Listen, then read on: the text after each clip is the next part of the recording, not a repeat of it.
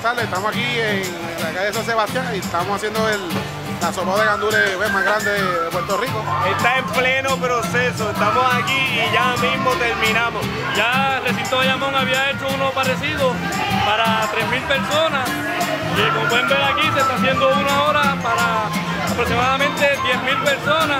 Uno de los retos más grandes que, que tenemos nosotros, ¿verdad? que hemos tenido y creo que esto es pues, para el agrado de todo el mundo, que, que lo disfruten. El Instituto de Banca viene mi gente a estudiar y a progresar. Eso, Juan Papá, está excelente y es prueba total del talento y dedicación de nuestros maestros y estudiantes.